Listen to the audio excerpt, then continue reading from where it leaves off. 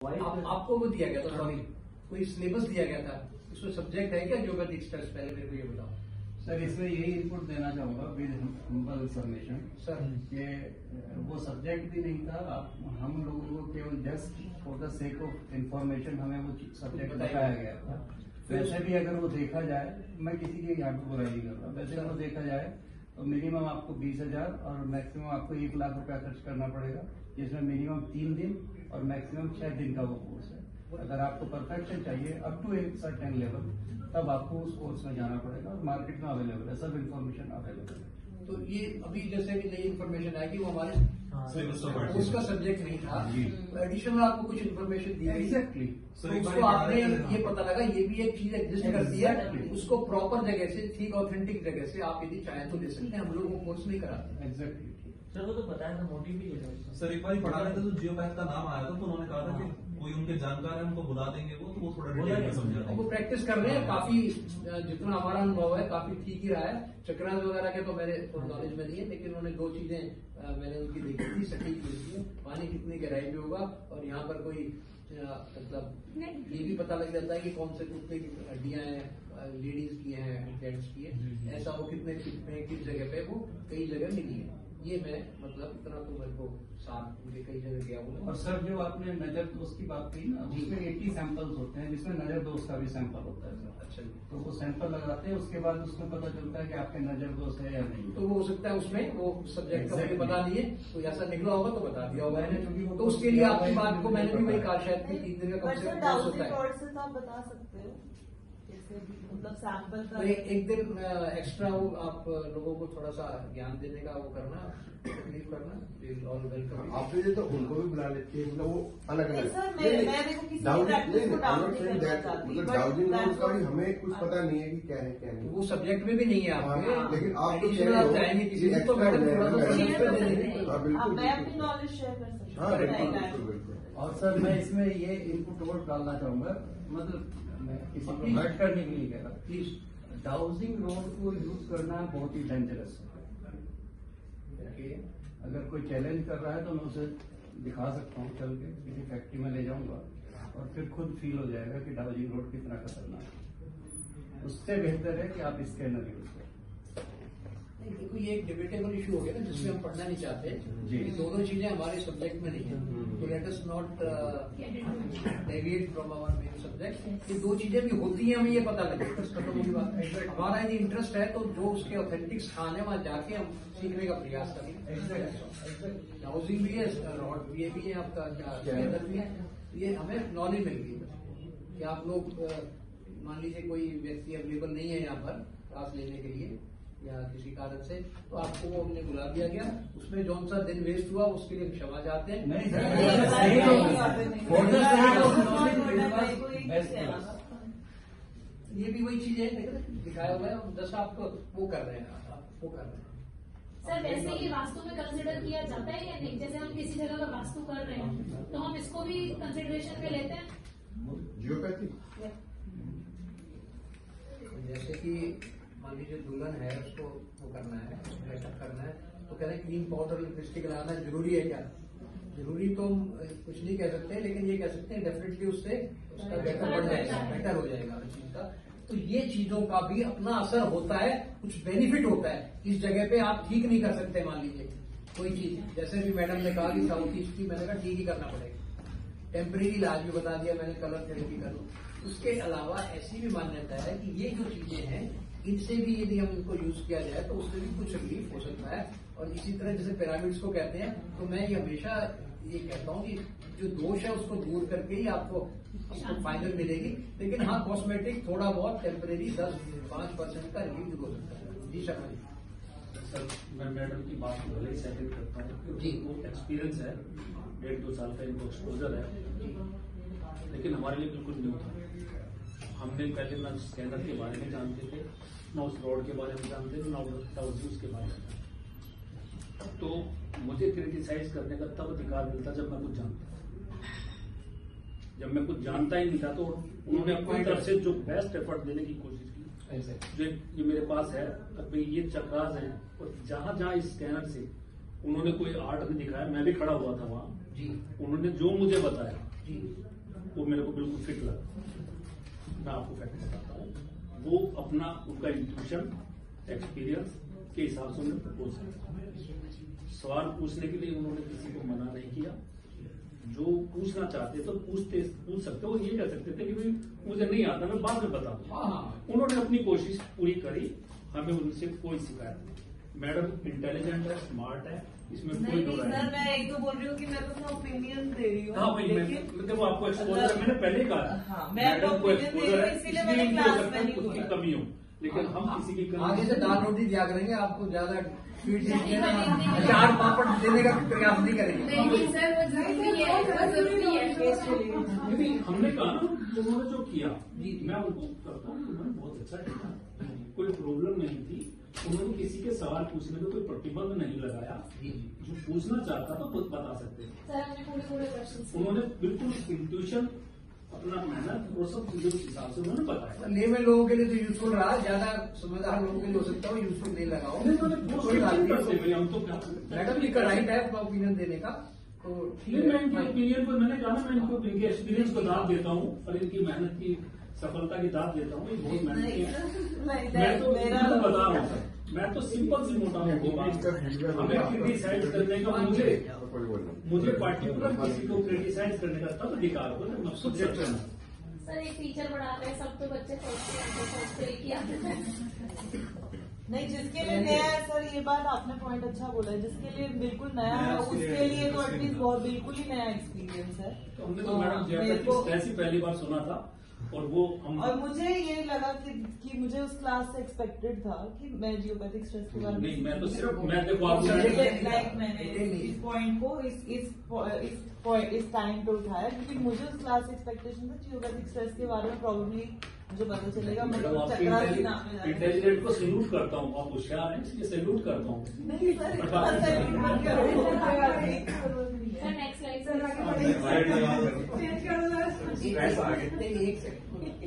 इसमें खत्म कर रहा हूँ मैं कल मैं सर को ही दिखा रहा था। तो ये काफ़ी बड़ी है हमारी तो उन्होंने काफ़ी समय लग जाएगा तो हमने थैंकफुली कई चैप्टर उनसे डिलीट कर दिए थे, छोटा कर दिया था। लेकिन ये मैंने जो बात की है कि मेरा क्वेश्चन था कि इसको हटाना है तो उन्होंने बताया कि इसमें से वो रोज पार्ट्स वाला जो है ना बैंड उनके पास था। वो कह रहे मैंने उसको ना टेप से अपने यहाँ हार्ट के पास लगाया तो मुझे बहुत ज़्यादा बेनिफिट हुआ। ये बताया। ऑपरेशन होकर रिकवर कर रहे थे तो उन्होंने बताया मुझे बहुत बेनिफिट हुआ। तो कहने का मतलब है कि मतलब बहुत सारी चीज़ें हैं विश्व के अंदर जिसके अंदर जो आपको मिलती है अपॉर्चुनिटी अवेलेबल होती है किसी को यूज़ करने की तो करने का प्रयास करना चाहिए। डिफरेंट और भी इंस्ट्रूमेंट्स हैं बहुत सारे हैं तो ये तो स्टेज है ना 95 से मैं सीख रहा हूँ। आज तक तो मैं नहीं समझता कि भाई 10-20 परसेंट से ज़्यादा आया तो अब ये तो वो है ना एक समुद्र है हर एक सब्जेक्ट उसमें ये भी है ये डाउजिंग पेंडुलम भी दिखाया लंच मीटर है। साउंड लेवल मीटर है बहुत सारी चीज़ें डाउजिंग रॉड भी दिखाई डाउजिंग रॉड को स्कैनर बना दिया। नहीं ज़्यादा इंडस्ट्री यूज़ नहीं करते। डाउजिंग रॉड्स रखी हैं सर का भी यूज़ करते हैं वो भी करते हैं पेंडुलम भी यूज़ करते हैं। वो उसके लिए हम उन्हीं की दो तीन लोग हैं हमारे सर्कल में। एक और थे पहले वो गुड़गांव चले गए पहले उनको भी हमने कई जगह लेके गए। एक भिंड के मेरा मुरैना जगह ना, वहाँ भी हम किसी को लेके गए थे वो एक दूसरे थे इन्हीं की तरह। गौरव अग्रवाल के वो वहाँ चले गए। तो उनको लेके गए तो अच्छा ही रहा हमारा एक्सपीरियंस सर एक बात और बताओ। हाँ जी पहले ये यू, बहुत यूज़ होता था। जी। इसे आने से पहले स्कैनर के आने से पहले लेजर प्रिंटर बहुत ज़्यादा यूज़ होता था। बहुत यूज़ किया कई लोगों ने हाँ सर सॉरी जो ये डाउजिंग पेंडुलम है ये सर इस पेंडुलम को अगर हाथ से पकड़ के हम जैसे हाथ से ना पकड़ के किसी और इंस्ट्रूमेंट से किसी से और ताकि हाथ से डाउट ना हो कि भैया हिला तो नहीं रहा कहीं। अच्छा ये बाई चांस आपकी बात में जवाब देता हूँ। मैंने शायद शुरू में दिखाया हमारे डॉक्टर राव थे वो पेंडुलम यूज़ करते हैं ठीक है? तो वो उनको कई बार मैं धीरे धीरे थोड़ा घनिष्ठा हो जाती है काफ़ी साल साल रहे हम लोग। तो मैं कहता सर, आप ऐसी बेवकूफ़ बना रहे हो लोगों को, या आप ऐसे घुमा रहे हो अपनी मर्ज़ी से? कभी आपने क्लॉक वाइज घुमा दिया, अभी क्लॉक वाइज घुमा तो कई बार जो है ना, यहाँ एक बार यहाँ पर भी बोल दिया तो सब चुप हो गए, पता नहीं यार नाराज़ ना हो जाए। तो मैं हाथ जोड़ के मैं सर, ये क्यों आप फिर वो क्या करते थे? वो क्यों करता था? उनको वो करने के लिए ही मैंने एक आधी बार जब यूज़ किया। मैंने कहा, ठीक है, कोई बात नहीं। पर्टिकुलर के पास गए थे ना, उसको कहा कि देखो आप यहाँ पर आओ। अब आप पकड़ो इसको। तो वो मैं नहीं समझता कि इतनी जल्दी आदमी ट्रेन हो सकता है लेकिन वो उन्होंने कई जगह पे ये करके दिखाया। उसको कहा कि देखो ये पर्टिकुलर जगह मैंने कहा खराब है ये पता है अच्छी है। तो इसको आप देखो तो यहाँ वहाँ पॉजिटिव ही घूम रहा था क्लॉकवाइज घूम रहा था। जहाँ उन्होंने नेगेटिव बजाय एंटी क्लॉकवाइज घूम रहा था। तो एक बार ट्राई दो बार ट्राई करने के बाद वो जो पर्टिकुलर व्यक्ति होता था जजमान होता था हमारा जो क्लाइंट होता था तो वहाँ पर उन्होंने एस्टेब्लिश किया कि नहीं। तो हाथ से ही देखा है मैंने और हाथ से उसमें बिल्कुल वो ये था, देखो मैं बिल्कुल वैसे पकड़ा हुआ ये दिखा रहे कोई मेरा इस पर प्रेशर नहीं है। बाकी आपका जो आइडिया है कि हमने किसी को देखा नहीं, इस तरह किसी और चीज़ से पकड़े हुए चिमटी से, किसी से देखा नहीं है, लेकिन हाथ से यूज़ करने करने वाले। और कई जगह उन्होंने ये दिखाया तो मैं कहता चलो जी, आप कह रहे हो, मान लेते हैं। इसी वजह से सवाल इकट्ठे हुए अगर ये स्कैनर हाथ की बजाय किसी इंस्ट्रूमेंट पे लगे होते और उसको आदमी उसके सामने से स्कैन करवाते और वो फिर वो इंडिकेट करता अब डाउट हो जाता है यार। एक तो इसकी बैलेंसिंग यही तो खुद नहीं कर रहा है। जब ऐसे मैं अपनी एक लेमैन वाली बात बता रहा हूँ ठीक कह रहे हो। आप जो सर ने कहा कि किसी एडवांस कोर्स में स्पेशल वही सीखने जाना आप तो उनसे ये प्रयास करना ये बात कहना तो हो सकता है कि कोई सिस्टम निकल जाए लोगों को ज़्यादा नहीं सर जब ये यूज़ करने लगेंगे ना तब मैं तो खैर practice makes a man perfect only but as a layman के लिए यार हिला तो नहीं रहा यार। अब वो तो सर मैंने कहा ना मैंने उनको जिनको मैं तो है, तो भगवान तुल्य मानता था उनको भी मैंने कई बार दृष्टा की सर आप ऐसे लोगों को बेवकूफ़ बना रहे हैं। तो उन्होंने फिर कहा कि ठीक है या तो तू मैंने कहा मैं मैं मैं तो नहीं- मैं तो मानता हूँ मेरी मर्ज़ी है जहाँ मर्ज़ी है मैं घुमा उसमें तो सर जो ये सवाल कह रहे हैं वो तो ज्योतिष में भी है। अच्छा। जब आपके सामने क्लाइंट बैठा होता है आप लैपटॉप पे कुंडली देख रहे होते हैं तो उसका सवाल यही होता है कि क्या इसमें ये सब कुछ लिखा हुआ आ रहा है? जब आप कुछ उसे शॉकिंग बता देते हैं। तो आप उसे लैपटॉप घुमा के दिखा देते हैं कि वहाँ तो कुंडली बनी हुई है, वहाँ तो कुछ लिखा हुआ नहीं रहा। सर एक दो जगह क्या हुआ है? एक दो बार कि यहाँ व्यक्ति चला गया यहाँ से राकेश जी मेरा कमाल हो गया परफेक्ट बिल्कुल हंड्रेड परसेंट सब चीज़ें वही बताई। और दो दिन बाद पता लगा वो एम की जगह पीएम था टाइम एग्जैक्टली ऐसा होता है सर कई बार। कई बार हुआ है। कई बार। तो एनीवे सर आप लोगों का ज़्यादा अपनी लेना चाहते हैं। तो जस्ट एक ग्लैंस के लिए पहले ये बहुत यूज़ होता था बहुत ज़्यादा यूज़ होता था आजकल फिर डाउजर आ गया फिर स्कैनर आ गया। एल एल रॉड्स होती थी पहले तो एल रॉड का ही दूसरा जरा हो गया ना मार्केटिंग बढ़िया सी होगी, जरा स्कैनर बन गया, उसके बाद तो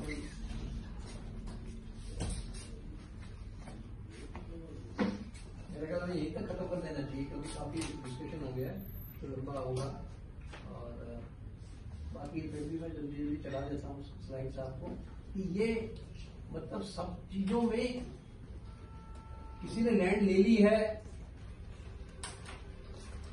शेप भी उसकी फिक्स हो गई डायरेक्शन भी फिक्स हो गया सराउंडिंग भी फिक्स हो गई तो कम से कम उसको डेवलप करने में आप स्लोप को डिसाइड करने में उसकी मदद कर सकते हो ना। वहाँ पर वाटर सोर्स और स्टोरेज कहाँ बनाओगे, वो तो कर सकते हो उसकी आप। कॉर्नर जो है एंगल के है मान लीजिए कि ये ऐसे निकला हुआ है। आप जो मैं कहता हूँ करेंसी नोट नहीं है। तो ये कॉर्नर बढ़ गया आपका। तो बढ़ गया तो क्या हो गया? ये नॉर्थ ईस्ट बढ़ गया तो इसको हम कहते हैं चलो ये तो अच्छा है फेवरेबल को। और इसके अलावा और बढ़ गया साउथ ईस्ट बढ़ गया साउथ वेस्ट बढ़ गया। इवन नॉर्थ वेस्ट के अंदर वेस्ट ऑफ़ नॉर्थ वेस्ट बढ़ना अच्छा है नॉर्थ ऑफ़ नॉर्थ वेस्ट बढ़ना खराब है। करेक्ट तो जो अनवांटेड एरिया बढ़ गया, उस कॉर्नर को थोड़ा ज़्यादा नहीं तो तीन फुट तक की हाइट तक स्ट्रेट कर लो। वो वाली पड़ी रहेगी आपकी रोड क्योंकि उसके पीछे दूसरा मकान है। साउथ है, साउथ वेस्ट है तो भर दो उसको वहाँ पर बेशक आप। तो उसको ठीक कर लो कॉर्नर्स को एंगल जो है कॉर्नर के श्योर कर लो। तो कहने का मतलब है कि जिस स्टेज में भी क्लाइंट आपके पास आता है, जिस स्टेज में आपके पास प्रॉपर्टी आती है, आपकी कोई राय ले रहा है तो आपके पास एक न एक कोई ना कोई फैक्टर ज़रूर मिल जाएगा जिसमें आप उसकी मदद कर सकते हैं। तो आप, मैं ये बार बार सबमिट करता हूँ कि 99 डिग्री सेंटीग्रेड पे पानी ज़िंदगी भर उबालते रहो, कभी भी स्टीम नहीं बनेगा।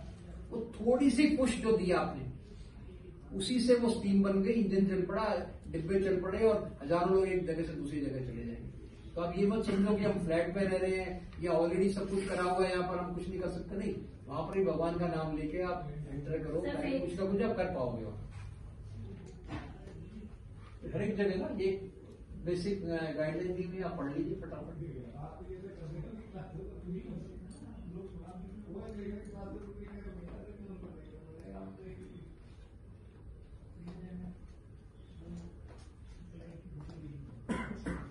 suggested shape, rejected shape हैं।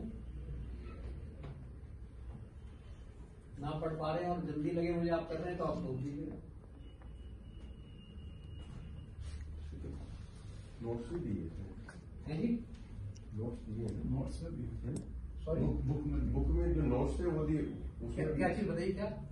अवेलेबल है सब नोट्स में भी। ये सब बुक में भी अवेलेबल है ना आपकी हाँ तो ठीक है फाइन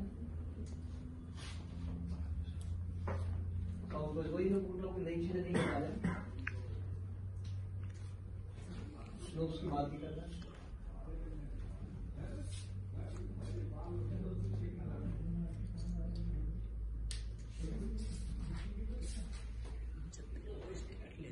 नॉर्थ वेस्ट में मैंने कहा ना व्हाइट कलर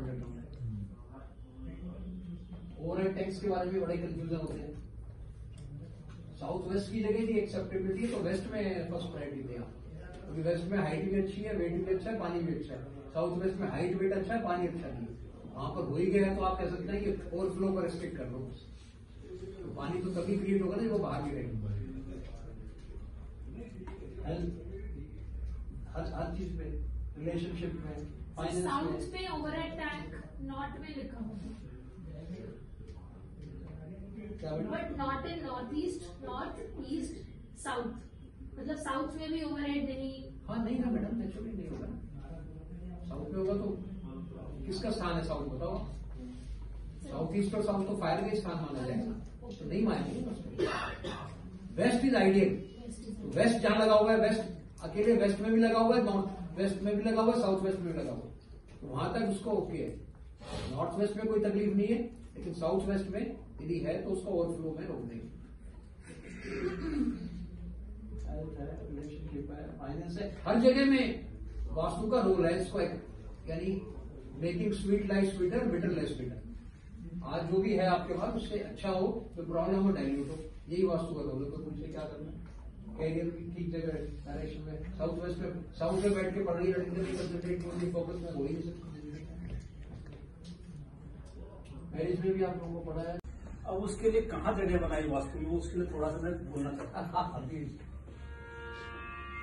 यहाँ हर पल, हर शख्स। नहीं नहीं, सर, हम माफ़ करना औकात कहाँ सामने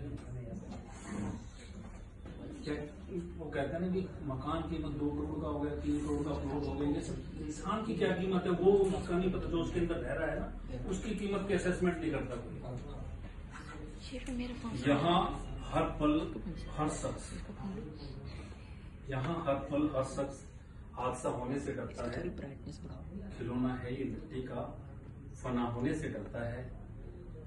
मेरे दिल के कोने में बैठा एक मासूम सा बच्चा बड़ों की देख कर दुनिया बड़ा होने से डरता है। हम तो वरदान को भी श्राप समझ बैठे। हम तो वरदान को भी श्राप समझ बैठे। सामने पुण्य है उसको भी पाप समझ बैठे। पहले माँ बाप ही को दौलत समझते थे अपनी। दौलत को ही जिसको देखो वो दगा देता है। दीन बनकर के दगा देता है। ये तो माँ बाप ही का है, दिलो बदन। वरना मुफ़्त में कौन दुआ देता है?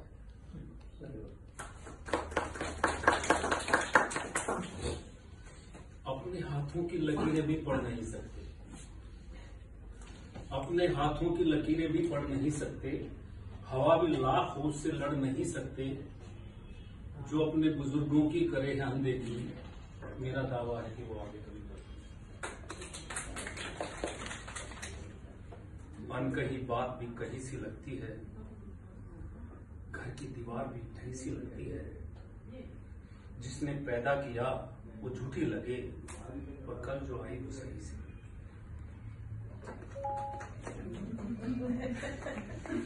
जिनको कहता है कि अब आगे नहीं कई होते तीन चार भाई होते हैं, किसी के हिस्से मार के, किसी के हिस्से सामान ये अलग हो जाते हैं जिनको कहता है कि अब आगे हैं ये, दिल के जख्मों को ढक नहीं सकते मांग भी अपना हक नहीं सकते। वहाँ भी माँ चार बच्चों को पाल सकती है, चार एक माँ को। सर, ये आज के हालात में थोड़ा सा। जो हो रहा है, वो मैं बता रहा हूँ। बाकी जैसे आप जैसे गुरु लोग हैं, जो हमें अपना अच्छा रास्ता बताते हैं, और कम से कम ये जो हमारे विद्यार्थी हैं, ये भी कम से कम पाँच पाँच, छह छह आदमी को कन्विंस करेंगे ये हमारी एसेट्स है। अगर ये धरोहर बरकरार है तो जो में हर जगह आपको फोकस ठीक है